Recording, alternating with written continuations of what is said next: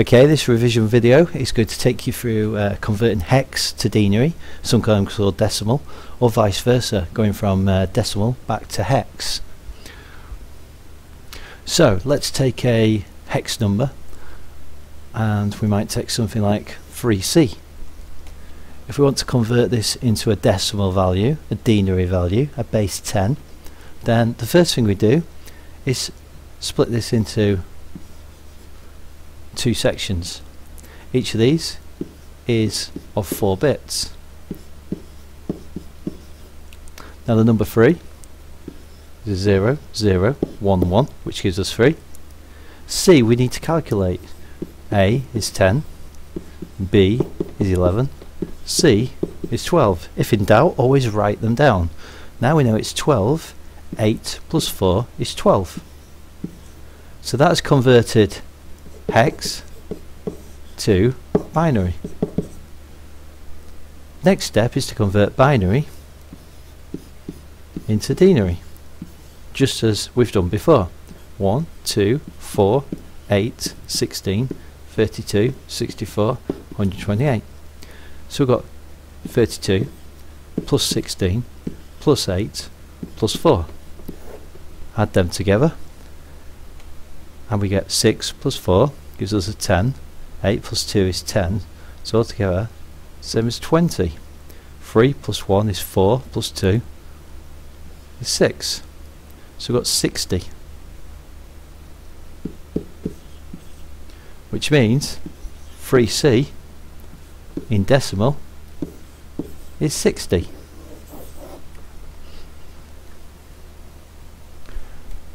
let's go through this again We'll take another hex value. This time we're going to take a 4. Sometimes you'll see a 16 there. This means base 16.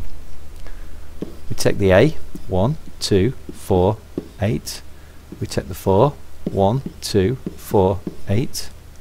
A is 10. 8 plus 2 is 10. 4 is just 4 we now take this number. We've got well we've gone from hex to binary. Let's take this number.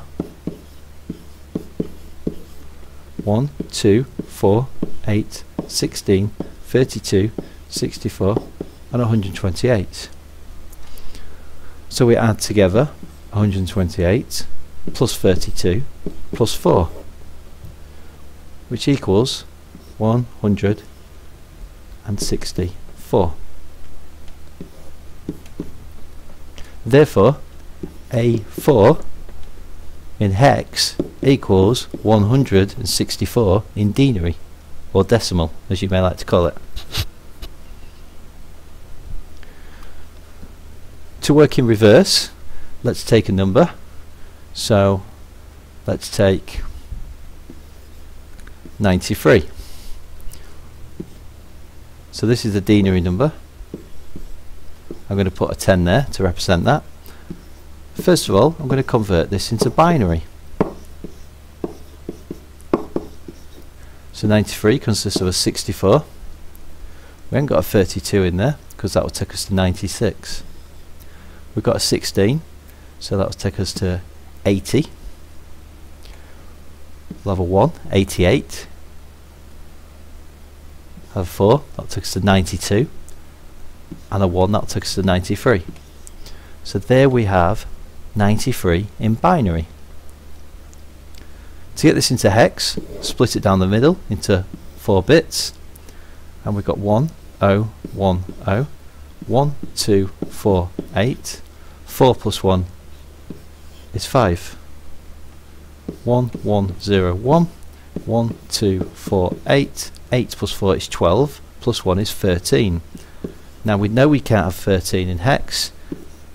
A is 10, B is 11, C is 12, D is 13. Therefore 13 is D. 93 denary in hex is 5D. So that shows how we convert hex to denary and denary to hex you must always go via binary.